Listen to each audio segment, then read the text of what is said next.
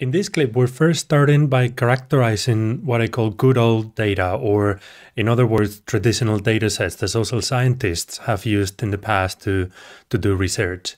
And this is useful for two particular um, reasons. The first one is that it's interesting in itself to know what are the main uh, advantages and disadvantages of the traditional data that social science has used? What is the backdrop against which a lot of the data revolution that we've seen in previous sections has come about? And and in, that in itself is useful.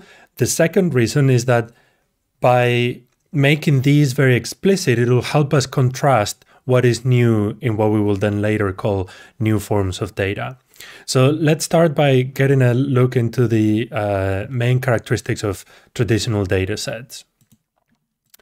And as I was saying, I'm, I'm splitting these in two, two main parts. First, we're going to look at the main advantages of these traditional data, or what are the main positive characteristics or positive features. And then we'll look into the disadvantages or, or some of the drawbacks of these traditional data sets. First, let's start with the good news. So these data sets are, you could say a lot of really good things of these data sets is the first thing I should say. But if I have to think of three main characteristics, these are these are them. The first one is that they are what I call here collected for the purpose. This means that they are data sets and databases that were designed to be storing information about whatever subject they are using. And this might seem something obvious and straightforward, but it's actually one of the main counterpoints when we later talk about new forms of data. So because they're collected for the purpose that they were originally designed for, they are carefully designed to be able to um, to retain those those characteristics. So if you've if you've watched the video of the Census Bureau that it's available on the course website as well, um, you will see that the, the director of the Census Bureau in the United States is saying we have to collect rich portraits and we designed this specifically for that. The second, the second characteristic then, which is in a way related, is that they're very detailed in information. Again, there's another passage in the video where the, the director of the Census Bureau, 10 simple questions allow us to collect rich profiles and portraits of the country. And this is again, this is a luxury that you can you can get when you're designing a data source specifically for representing uh, some aspect of, of society, in this case, the socioeconomic and demographic characteristics of the nation. And because of these two uh, combined reasons, usually what these traditional official data sources uh, end up being is data sets of high quality. This is the best that we have to have a look, a quantitative look at, at societies, at social phenomena, um, and to get a, a good perspective, a good grasp that is as representative as possible of the subject that we're, we're studying. Now, this obviously doesn't come does it come for free? And if we sort of flip the coin and look at the main drawbacks or, or main um, disadvantages of these traditional data sets is that in part because of the two characteristics that I've just mentioned, or the three, these are, you can already see how they are massive enterprises. One of the US Bureau, US Census um, data engineers they says we collect information about every single person. Okay, so for every country, for large countries like the United States or China, this is a huge enterprise. And even for smaller countries, it's still a massive enterprise that takes a lot of effort, that takes a lot of time, and also that ends up taking a lot of a lot of money or a lot of financial resources. Because of that, and also because of uh, privacy uh, well-founded privacy concern concerns, even though these data sets are collected super finely grained, the census is is mailed to every person in the country, which means you end up getting uh, a data point for every person or every household really in the country.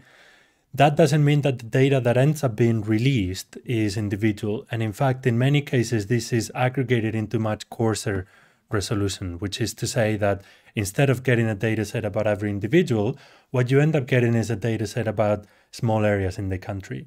And I should say also that for a lot of purposes, this is absolutely not a problem.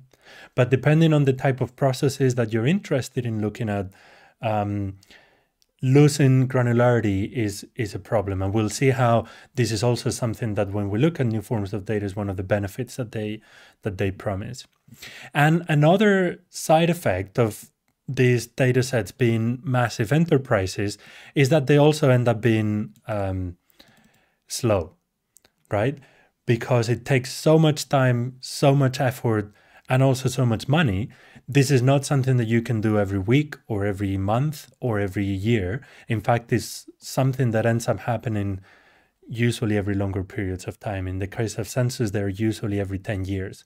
So, yes, you get very detailed and rich portraits of a country, but you get them once every 10 years. And we'll see this is also something where new forms of data can can help. So three main drawbacks or, or not as great features of traditional data sets is that they are massive enterprises that need to be released in, in at a coarse resolution and that they're released more slowly. Some examples of these data sets, uh, we've already mentioned the decadal censuses that uh, developed and, and many developing countries release regularly or at least every 10 years. Uh, but there's other other examples. So, for example, longitudinal surveys. Almost every uh, developed country has cohorts, what they call cohort studies, where they pick a subset, usually a very small subset, although representative of the population, and they follow, they track that over time. Again, that provides very useful information, but it has its limits in terms of how much you can apply it at um, smaller geographical units, etc. And then social scientists have been pioneers and have been very, very avid users of smaller custom collected surveys, such as interviews, smaller surveys that are targeted for one particular topic, but also for one particular smaller population. Economic indicators another example of massive enterprises so, for example, the um, the GDP indicator, the the gross domestic product index that measures the size of the economy, is something that takes it's is an incredibly large enterprise to collect and and so on. So that means that it either doesn't come very often, or when it comes, it doesn't come for it comes at very coarse resolutions, and in any cases, they're very costly enterprises. Okay, so now that we know this video has given us a better understanding of what traditional data sets are. So carry on on the course to get a better sense of what is the how is the new wave of data sets that we are seeing through the data revolution.